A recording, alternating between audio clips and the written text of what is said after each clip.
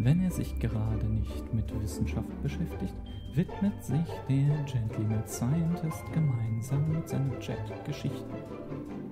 Was er dabei erlebt, das erfahrt ihr hier in Gentsy's Journal.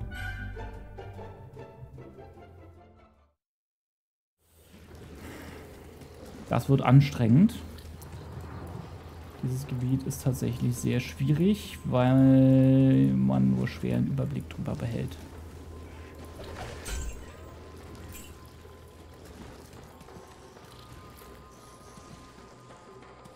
Mit diesem abgeranzten Baum. Wundervoll. Ja, geil. Die sehen auch viel besser aus als vorher. War vorher so ein... Ui, erkennbarer Blob. Oh, gleich ein Champion-Fetisch. Die, diese Viecher sind die, die Hassgegner von allen Diablo-Spielern. Weil sie relativ viel Schaden machen und immer weglaufen. Sodass sie einen über die ganze Karte in sämtliche Methoden drängen. Wir haben eine Jade-Figur gefunden eine goldene, die uns die eine Quest getriggert hat. Wir sollen Kane zu der Jade-Figur befragen, das werden wir auch tun. Aber noch nicht jetzt sofort.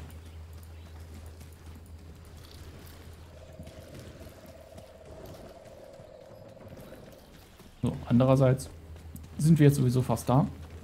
Und dann gehe ich einfach mal kurz zurück, dann machen wir das gleich.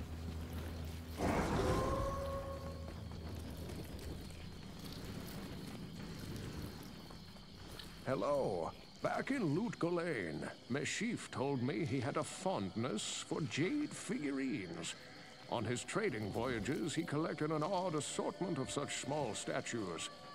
I would show him your figurine. Mhm.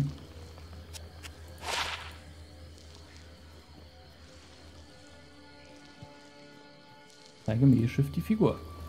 Also Meschiv, ne? Im Deutschen heißt er tatsächlich Meeschiff, weil wir Deutschen offensichtlich nicht in der Lage sind, richtig Namen auszusprechen. Praise you. That jade figurine will complete the set I was collecting. Here, I've had this statuette of a golden bird for years, but I consider it a fair exchange. Können wir nochmal tratschen? Ah, hier. The dockside is apparently the only civilized area left in Kurast. Alleine das ist übrigens ein Statement, ne? dass der Hafen der einzig sinnvolle Ort in Kurast ist. How does one destroy destruction? How does one force terror to flee in fear? You have great tasks ahead of you, Ormus thinks. Boah, er könnte recht haben. So, wir müssen zu Alcor mit dem Ding, ne?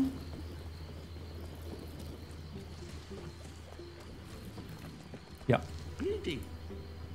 Ah, the golden bird of Guile. Thank you, my friend. Busy yourself while I, busy yourself while I experiment with the ashes within it. Then return and see what I've made for you. Upsi, da war ein Fehler im Audio.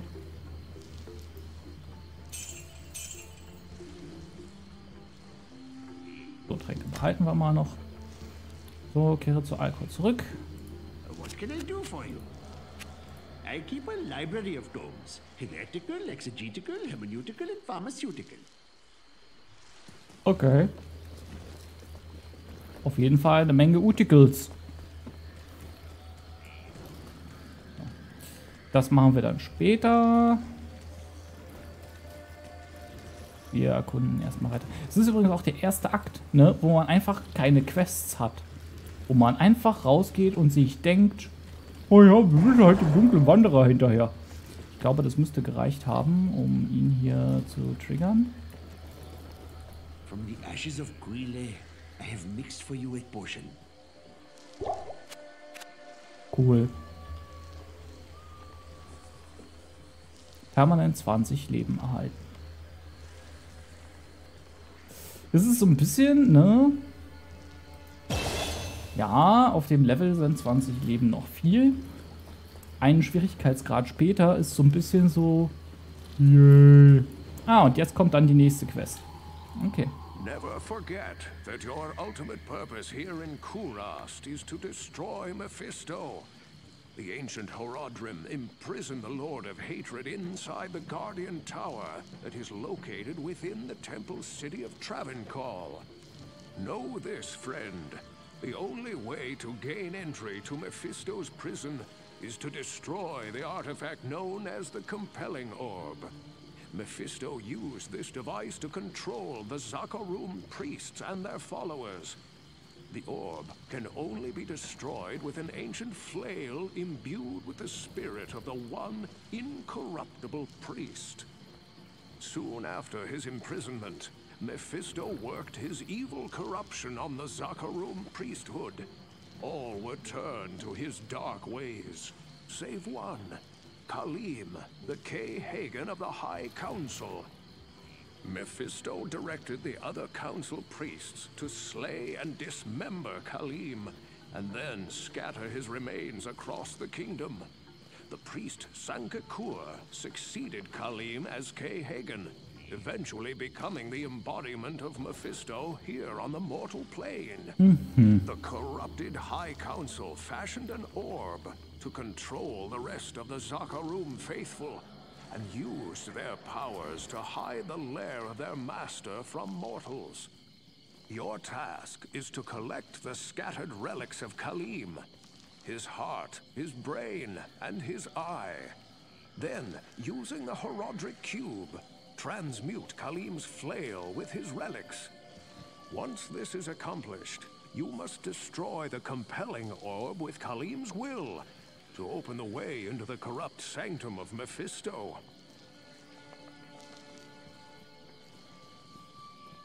Jetzt mal Quest Design aside, ne? Razer verkrümmelt sich auch, sehe ich gerade noch. Ich äh, wünsche eine gute Nacht. Ähm. What the fuck? Also, ähm.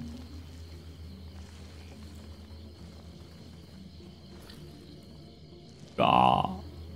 Bitte tue drei, Ding, drei, drei Körperteile und eine Pflege in den Horadrim-Würfel. So. Okay. Aber ja.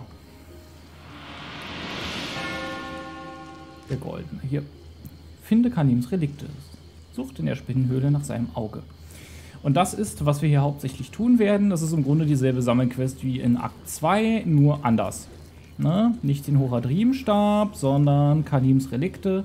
Ansonsten ist tatsächlich das Quest-Design hier ein bisschen unkreativ.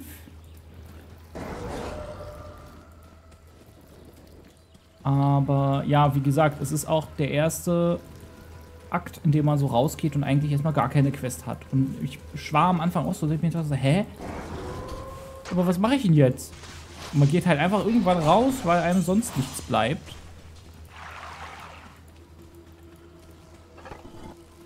Und wird dann erst so nach und nach an die Aufgabe reingeführt. Finde ich aber eigentlich ganz cool. Ansonsten haben wir jetzt erfahren, wer ähm, in welchen Körper Mephisto steckt. Ne? Wir wissen, äh, Diablo ist von unserem Helden aus Diablo 1.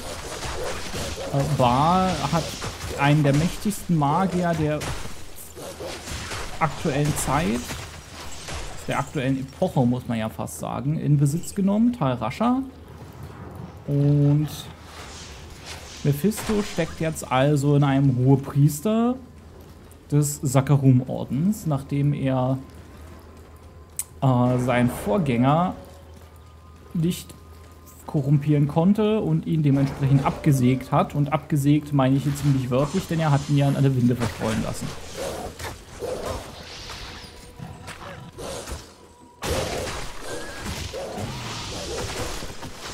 Bin übrigens super dankbar, dass ich den Eismagier dabei habe. Das macht die Fetische hier deutlich angenehmer. Und ansonsten merkt ihr, wir kommen hier gerade relativ gut durch. Was sicherlich auch daran liegt, dass ich meinen Schaden nochmal geupdatet habe. Ähm, bevor ich rausgegangen bin. Das war tatsächlich ein bisschen ein Glücksgriff.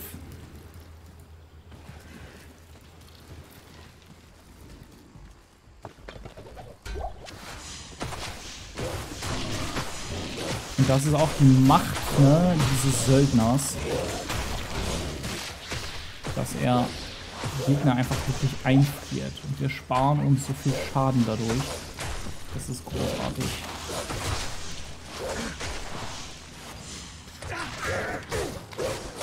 Eine Erdkrone.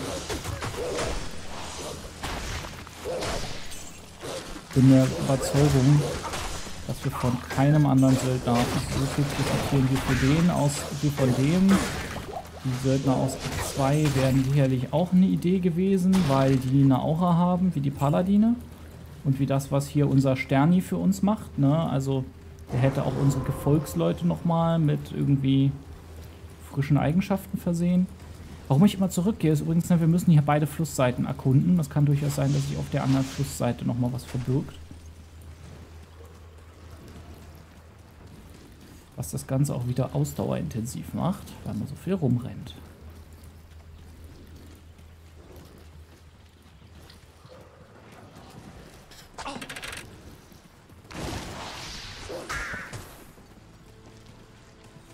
Fällt auch fest, ne? ich brauche nicht mehr je, schon jetzt im Normalbereich, wie ich das am Ende von Akt 2 gebraucht habe, ähm, die Wolfsgestalt, um zurechtzukommen. Das heißt, grundsätzlich ist, geht der Akt wieder sanft los.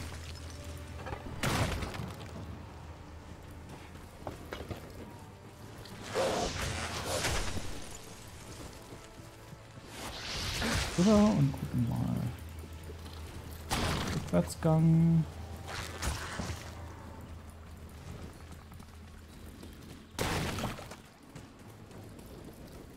Weiter. Wir wollen ja nur nichts übersehen.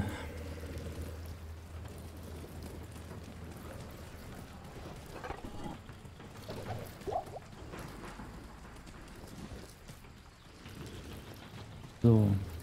Das ist auch, was mich auch so ein bisschen überrascht, ne, ist, wir kommen her und im Grunde ist keiner davon überrascht, dass der Orden der Sakarum gefallen ist. Als wäre, also scheint ja auch schon ganzes Weiche so zu sein. Und das schien irgendwie auch allen bekannt zu sein. Weil Decker Kane ja so erzählt so, ja, er hat das hier übernommen und überhaupt und sowieso und kein bisschen schon so von, oh mein Gott, was ist hier passiert? Sonst ist so die so, ja, oh, das ist schon 20 Jahre her. Es überrascht jetzt keinen wirklich mehr. Die Empörung ist abgeklungen. Wir arbeiten jetzt halt damit. Ähm, oh.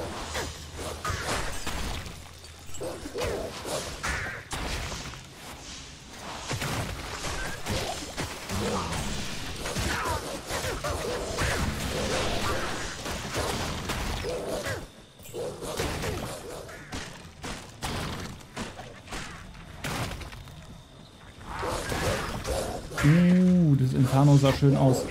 Ähm, diese Fetische, also diese kleinen Mannequin, ne, können sich... Äh, da gibt es manchmal zwei, die übereinander stehen. Das sind dann die Schamanen des Ordens, also der Gruppe. Die können äh, Feuerzauber machen und ich glaube Leute heilen und so. Und äh, man killt die, indem man den einen von dem anderen runterkloppt und dann hat man zwei einzelne vor der Nase. Finde ich ein sehr schönes Detail.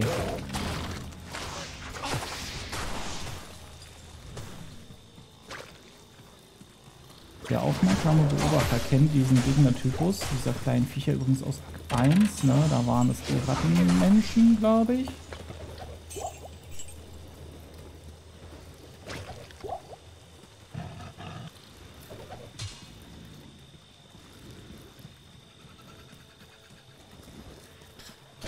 Wow, hier ist ja was. Okay.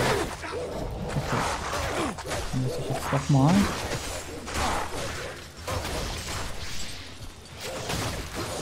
Eine halbe Armee aus von diesen Viechern.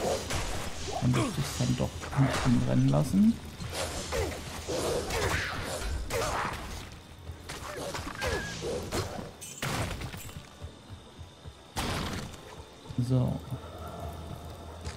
Habe jetzt aber noch keine Höhle, ne?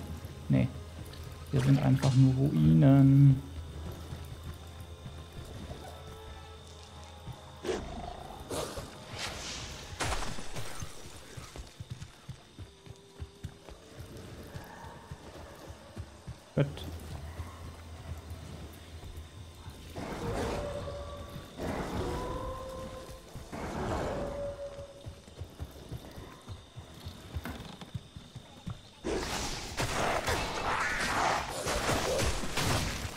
Finde doch die Geräusche, die hier machen, großartig.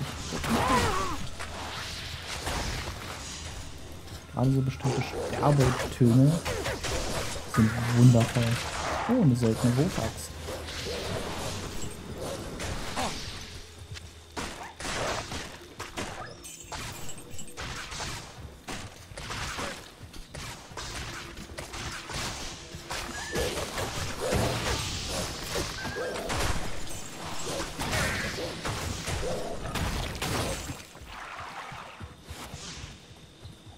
Stehen! Das heißt, wenn man sie dann hat, geht's in der Regel. Deren Rüstungswert ist relativ hoch. Das heißt, wenn man Pech hat, hat man einen schlechten Angriffswert und dann steht man davor und trifft sie einfach nicht. Trifft sie nicht totgekühlt, aber das Problem haben wir jetzt gerade zum Glück nicht. Wir kommen hier nicht rüber. Wir müssen da hinten die Brücke nehmen.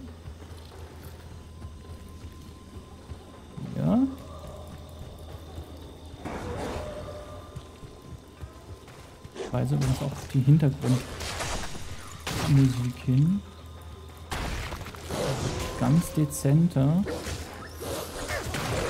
Spannung verspricht.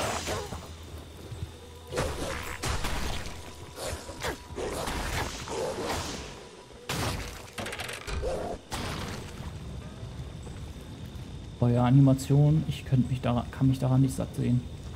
Das ist wunderschön, das Feuer, finde ich. Juwel 1 bis 3 Kälteschaden, das ist nicht so wahnsinnig. Die Rauchkugel für Zauberrunden interessiert uns nicht und die Wurfaxt sowieso nicht.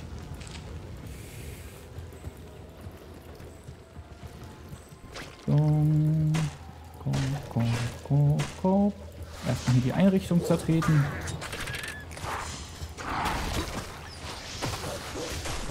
Wer auch immer eine Falle in den Kokon gebastelt hat. Und hier, ich finde das ich gehe noch mal kurz in den alten Modus. Hier ist es schon nicht schlecht, ne? Eingefügt in die Umgebung. Aber alter, gliedert sich das hier wundervoll ein. Da kann man wirklich dran vorbeirennen. Weil man das nicht sieht. So schön fügt sich das in die Umgebung ein.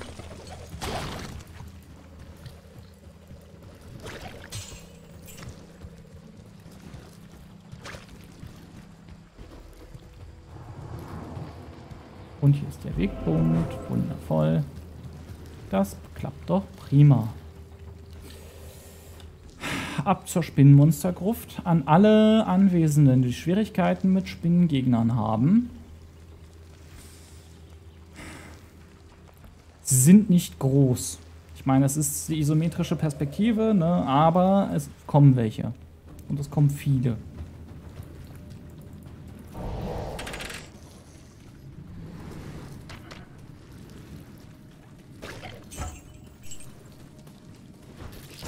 Und sie sind so wund... Aua, aua, aua. Die kann ich jetzt nicht mehr unverwandelt. Sie sind so wunderschön gemacht.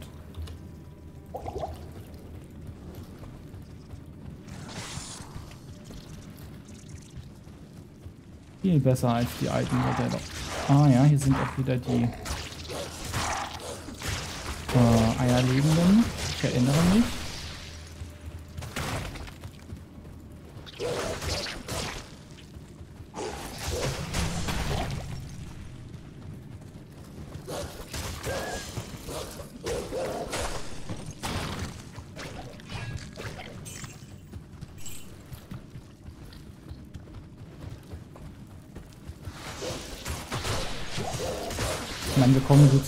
Ne, so grundsätzlich.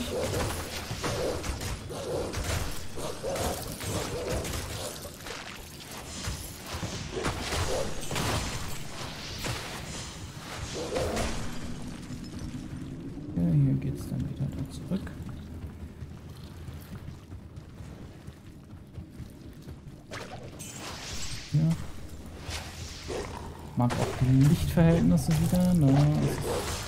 Schön dunkel hier drin. Diablo 3, ihr werdet es dann sehen, wird deutlich heller sein im Allgemeinen. Zumindest in allem, was nach Akt 1 kommt. Akt 1 in Diablo 3 ist noch verhältnismäßig düster. Aber es wird dann anders. Von der Tonalität dann einfach viel mehr der Schlacht und weniger der Gruselfokus. was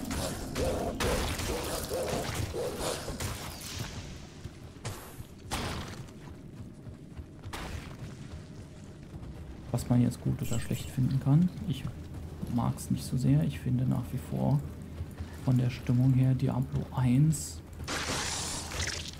weit abgeschlagener Favorit.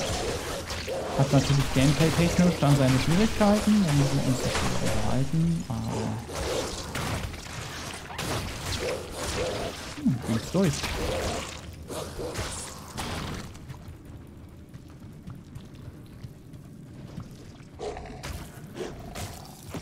Schön, die Spinnen uns gerade einfach ignorieren.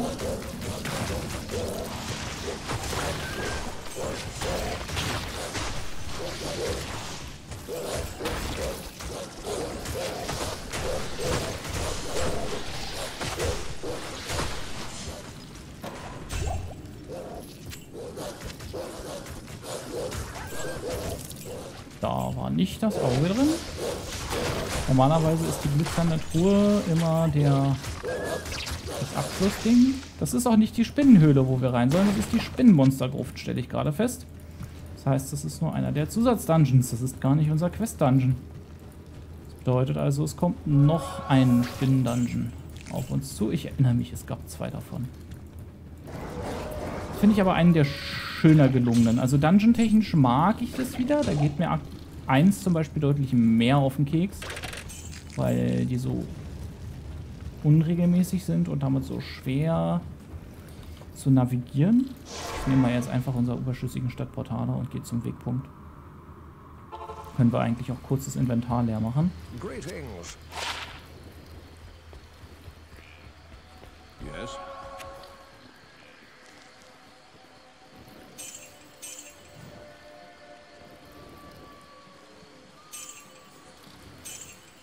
Bis 3 Kälteschaden hebe ich mal nicht auf. Ne? Was soll der Quatsch? Brauchen wir wirklich nicht.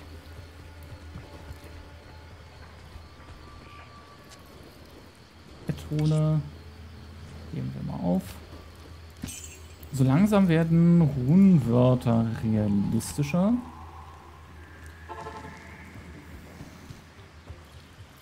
Wenn ich noch nicht das Gefühl habe, dass wir da jetzt zwingend was brauchen. Im Gegenteil, ich habe das Gefühl, wir gehen momentan noch so schnell durch die Items. Das ist echt nicht möglich. Huch. Sir, we have some visitors. Shall I see them to the study? Was ist denn da passiert? Timbomoto! Einen wunderschönen guten Abend an dich und deine Mitstreiter. Neun Personen. Kommt rein, nehmt euch, setzt euch Tee. Wie komme ich denn zu der Ehre? Schön, dass ihr da seid. Was habt ihr gemacht und wie war's? Vor allen Dingen. Und hallo, ich bin äh, A new student has just arrived, sir. Der Gentleman Scientist. Jetzt muss ich kurz gucken. Jealous Jess. Dankeschön für deinen Follow.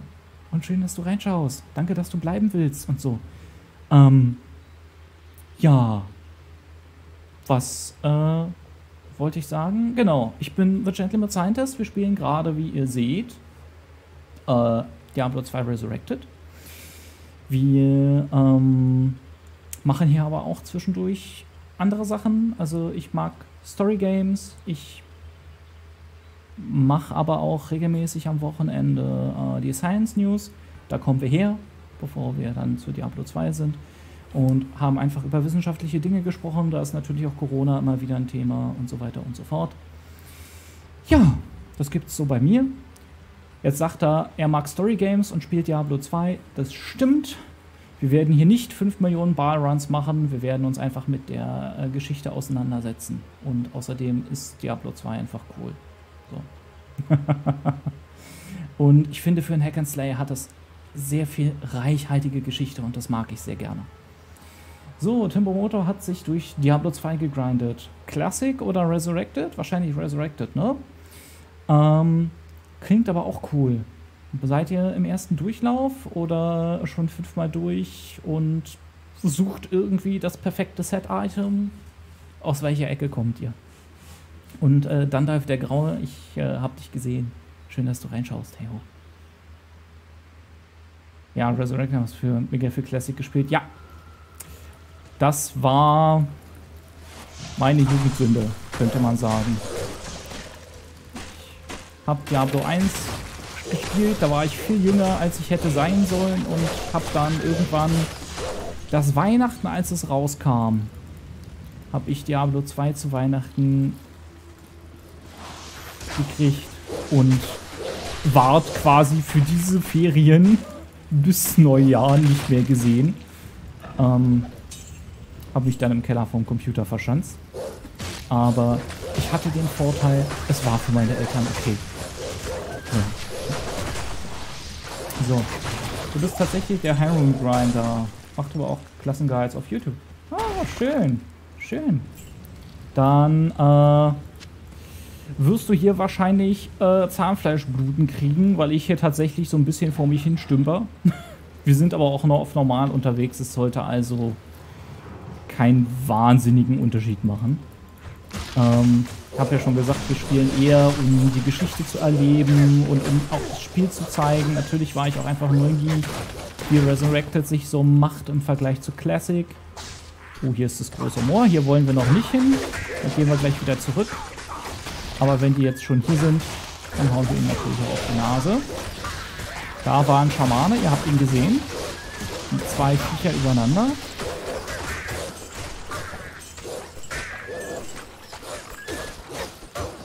Das ist übrigens auch eine Eigenart von Akt 3. Ne? Es gibt hier nicht, wie in Akt 1 und in Akt 2, und Spoiler, es dann auch wieder in Akt 4 wieder gibt, diese klassischen Übergänge. Ähm, sondern die Gebiete gehen einfach nahtlos ineinander über und man muss es dann einfach erkennen. So. Das macht die Orientierung deutlich schwieriger. Sie haben es geschafft, einen Dschungel zu bauen, in dem man sich tatsächlich verlaufen kann. Trotz Minimap. Es geht. Manchmal denkt man sich einfach so, hä, wo bin ich, wo muss ich hin und überhaupt. Ähm, das macht den Akt ätzend, aber ähm, Stimmung haben sie eingefangen. So, Diablo 1 Kloster bis Level 22, mehr gab es nicht.